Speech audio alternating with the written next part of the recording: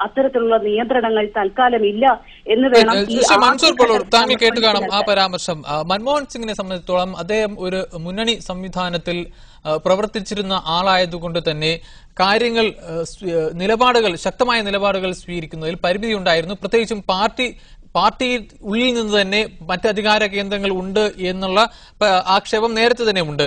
അതോടൊപ്പം തന്നെയാണ് ഘടകകക്ഷികൾ ഉൾപ്പെടെയുള്ളവർ നടത്തുന്ന സമ്മർദ്ദം. അതുകൊണ്ട് തന്നെ ഈ വിഷയങ്ങളിലൊക്കെ ചില ശക്തമായ നിലപാടുകൾ സ്വീകരിക്കാൻ മൻമോഹൻ സിംഗിന് പരിമിതി ഉണ്ടായിരുന്നു. പക്ഷെ ആ പരിമിതി ഇപ്പോൾ ഇപ്പോൾ വർദ്ധിച്ച ഭൂരിപക്ഷത്തോടെ മുന്നിലെത്തിയിരിക്കുന്ന നരേന്ദ്രമോദിക്കില്ല. എന്റെ നിലപാടുകളോട് പ്രതികരിച്ച സഹോദരിയുടെ മൻമോഹൻ സിംഗുമായി കുറിച്ച് പറഞ്ഞ വാക്കുകളോട് ഞാൻ എനിക്ക് പറയാനുള്ളത് ഭരണനിർവഹണ കാര്യങ്ങളിൽ ഒരിക്കലും തന്നെ രാഷ്ട്രീയം കളിക്കാത്ത ഇന്ത്യ കണ്ട ആദ്യത്തെയും ഒരുപക്ഷെ അവസാനത്തെയും പ്രധാനമന്ത്രിയായിരിക്കും ഡോക്ടർ മൻമോഹൻ സിംഗ്.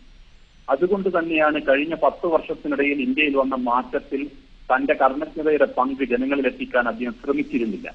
ഒരിക്കലും രാഷ്ട്രീയം കളിക്കാത്ത ഒരു പ്രധാനമന്ത്രിയായിരുന്നു. എന്നാൽ ഇന്ന് അതേ അർത്ഥത്തിൽ ഇന്നിപ്പോൾ നരേന്ദ്രമോദി കളിക്കുന്നത് രാഷ്ട്രീയമാണ്. നേരത്തെ നരേന്ദ്രമോദി വെറും ഒരു രാഷ്ട്രീയക്കാരനായിരുന്നില്ല ഗുജറാത്തിന്റെ മുഖ്യമന്ത്രിയായിരുന്നു.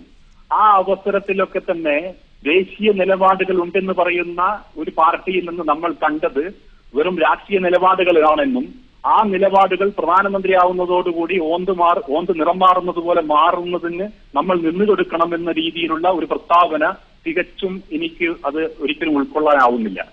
ആ പ്രസ്താവനയ്ക്ക് ഉപോത്ബലകമായിട്ട് മ- മൻമോഹൻ സിംഗിനെ മറ്റൊരു തരത്തിൽ തെറ്റായി വ്യാഖ്യാനിക്കുന്നതും ശരിയല്ല എന്നാണ് ഞാൻ പറയുന്നത്. കാരണം വളരെ ഇന്ത്യ എന്ന രാജ്യത്തിന്റെ പുരോഗതി മാത്രം ലക്ഷ്യം വെച്ചുകൊണ്ട് രാഷ്ട്രീയത്തിൽ നിന്നും വിട്ടുനിന്ന ഒരു പ്രധാനമന്ത്രി ഞാൻ നേരത്തെ പറഞ്ഞതുപോലെ മൻമോഹൻ സിംഗ് ഇനി ഉണ്ടാ അങ്ങനെ ഒരു പ്രധാനമന്ത്രി ഉണ്ടാവുമോ എന്ന കാര്യം നമുക്ക് സംശയം ഉള്ളതാണ്.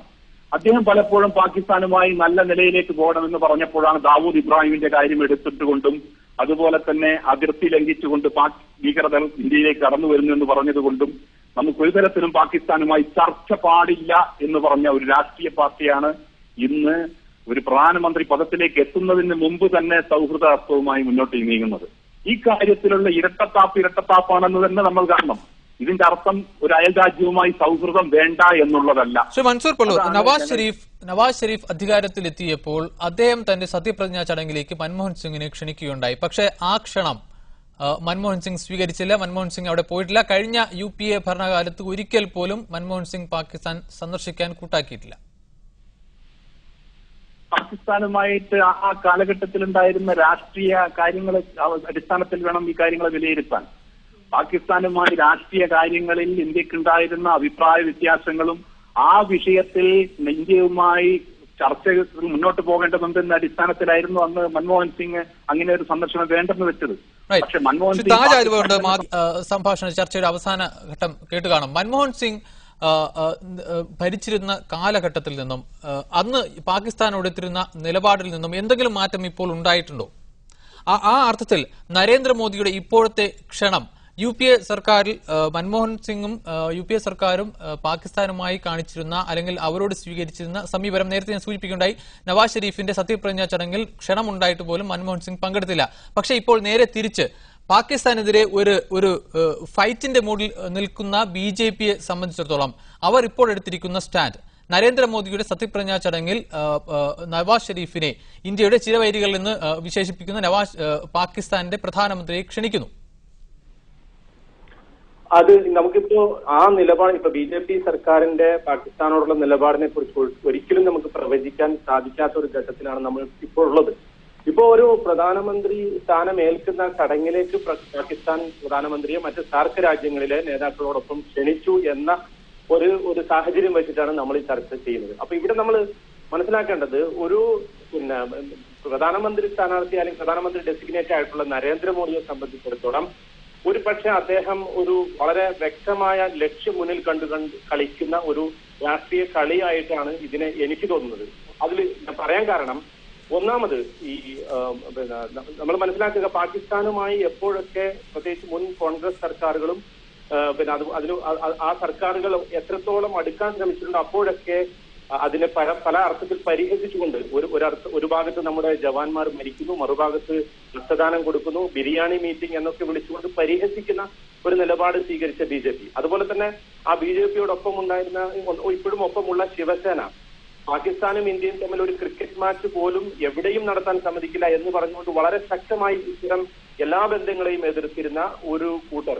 ഇപ്പോ ഈ ഒരു ചടങ്ങിന് ഇവരെ ക്ഷണിക്കുന്നതിലൂടെ ഏതെങ്കിലും അർത്ഥത്തിൽ പാകിസ്ഥാനുമായി അടുക്കാനോ അല്ലെങ്കിൽ ഇന്ത്യയും പാകിസ്ഥാനും തമ്മിലുള്ള ബന്ധങ്ങളിൽ ഏതെങ്കിലും തരത്തിലുള്ള പുരോഗതി ഉണ്ടാക്കാനോ ശ്രമിക്കും എന്ന് എനിക്ക് തോന്നുന്നില്ല. മറിച്ച് ഇതൊരു രാഷ്ട്രീയ നീക്കമായിട്ടാണ് എനിക്ക് അനുഭവപ്പെടുന്നത്. അതിൽ ഒരു പ്രധാനപ്പെട്ട ഒരു കാരണം നേരത്തെ പറഞ്ഞത് തന്നെ അതോടൊപ്പം നമ്മൾ ചേർത്ത് വായിക്കേണ്ട ഒരു സംഗതിയാണ് ഇവിടെ മോഡിയുടെ ഒരു ഒരു സ്വേച്ഛാധിപത്യപരമായിട്ടുള്ള തീരുമാനങ്ങൾ ഇപ്പോൾ തന്നെ നമുക്ക് പ്രകടമായി കൊണ്ടിരിക്കുന്നു എന്നുള്ളതാണ്. അതായത് കക്ഷികളെ പരിഗണിക്കാതെ അതുപോലെ തന്നെ നേരത്തെ പലതരത്തിലുള്ള നിലപാടുകൾ വെച്ച് പുലർത്തിയിരുന്ന കക്ഷികളെ പരിഗണിക്കാതെ സ്വന്തം നിലയ്ക്ക് തീരുമാനങ്ങൾ എടുത്ത് മുന്നോട്ട് പോകുന്ന പ്രവണത ഗുജറാത്ത് മുഖ്യമന്ത്രിയായിരുന്നപ്പോൾ അദ്ദേഹം കാണിച്ചതുപോലെ തെരഞ്ഞെടുപ്പിന്റെ സന്ദർഭത്തിൽ അദ്ദേഹം പ്രകടിച്ച് പ്രകടിപ്പിച്ചതുപോലുള്ള സ്വന്തം നിലക്കുള്ള തീരുമാനങ്ങൾ എടുത്ത് മുന്നോട്ട് പോകുന്ന ഒരു കാഴ്ച. ഇവിടെ ജനാധിപത്യ വിശ്വാസികൾ അതുപോലെ തന്നെ അയൽരാജ്യങ്ങളുമായൊക്കെ നല്ല ബന്ധം വേണം.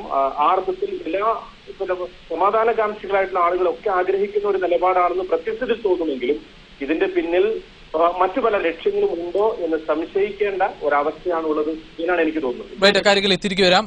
സുരേഷ് തൃശ്ശൂരിൽ നിന്നും ഒരു പ്രേക്ഷകൻ നമ്മോടൊപ്പം ഉണ്ട് സുരേഷ് പറഞ്ഞോളൂ. Hello sir. ആ പറഞ്ഞോളൂ സുരേഷ് കേൾക്കാം. ആ ഇവിടെ നരേന്ദ്രമോദി രാജ്യത്തിന്റെ പ്രധാനമന്ത്രി സ്ഥാനാർത്ഥിയായിട്ട് മത്സരിക്കാൻ നിന്ന കാലം മുതൽ നമ്മുടെ മീഡിയ മൊത്തം പറയാണ് അദ്ദേഹം നരഹത്യ മോഡിയാണ്. എങ്ങനെ അദ്ദേഹത്തെ ഫുള്ള് കുറ്റപ്പെടുത്തി.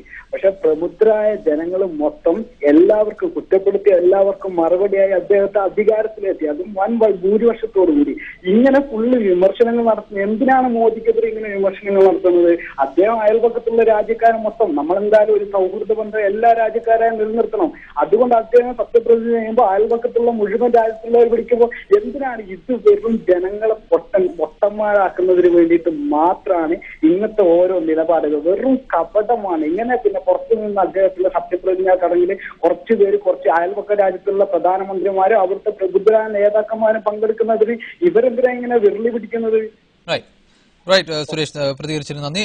ശ്രീ ധന്യലക്ഷ്മിയിലേക്ക് ഒരിക്കൽ കൂടി. ധന്യലക്ഷ്മി ഇവിടെ ആ, സാർക്ക് രാജ്യങ്ങളിലെ ഭരണ നേതൃത്വത്തിലുള്ള ആൾക്കാരെയാണ് മോദി തന്റെ സത്യപ്രതിജ്ഞാ ചടങ്ങിലേക്ക് ക്ഷണിച്ചിരിക്കുന്നത്. ഈ രാജ്യങ്ങൾ തമ്മിലുള്ള നയതന്ത്ര ബന്ധം ഊഷ്മളമാവുക എന്നതിനർത്ഥം അവർ തമ്മിലുള്ള മറ്റ് വ്യാപാര ബന്ധങ്ങളും ഒക്കെ ഊഷ്മളമാവുക കൂടുതൽ ബന്ധങ്ങൾ മെച്ചപ്പെടുക അതുവഴി ഇരുവർക്കും ഇരു കൂട്ടർക്കും സാമ്പത്തികമായ ഒരു മെച്ചം ഉണ്ടാവുക എന്ന അർത്ഥത്തിൽ ആ അർത്ഥത്തിൽ ഈ മോദിയുടെ ഈ ഒരു തീരുമാനത്തെ കാണാൻ കാണാൻ സാധിക്കുമോ? അതോടൊപ്പം താജ് ആൽവ സൂചിപ്പിച്ചതുപോലെ ഒരു നയതന്ത്ര മേൽക്കോയ്മ സത്യപ്രതിജ്ഞ ചടങ്ങിൽ തന്നെ ഒരു നയതന്ത്ര വിജയം ഉണ്ടാക്കുക. അങ്ങനെ ഈ മേഖലയിൽ തന്റെ ശക്തി തെളിയിക്കുക എന്ന ഒരു ലക്ഷ്യം കൂടി മോദി ഈ ഒരു നീക്കത്തിൽ കാണുന്നുണ്ട്.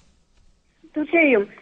ഈ ഒരു സ്റ്റെപ്പിനെ ഇപ്പോ നമ്മളിപ്പോ ഈ ചർച്ചയുടെ ഈ ഒരു ഘട്ടം കഴിഞ്ഞപ്പോൾ ഇതൊരു പാകിസ്ഥാൻ സെന്റേർഡ് ആയിട്ടുള്ള ഒരു ഫോറിൻ പോളിസിയെ കുറിച്ചാണ് ഈ ചർച്ചയിൽ കൂടുതൽ ഫോക്കസ് കൊടുത്തത്.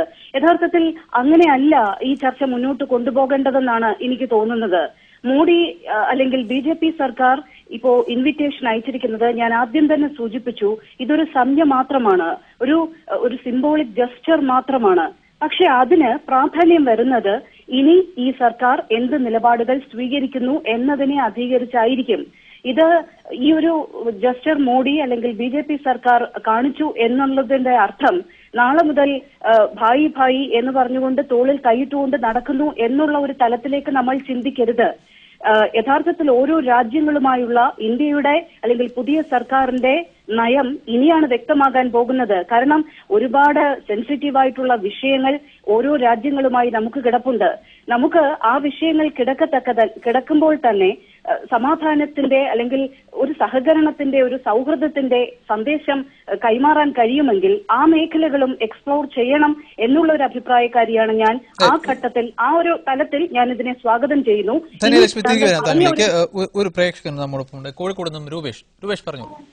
ഹലോ. നമുക്ക് ഇതേപോലെ തന്നെയാണല്ലോ വേണ്ടത് അതായത്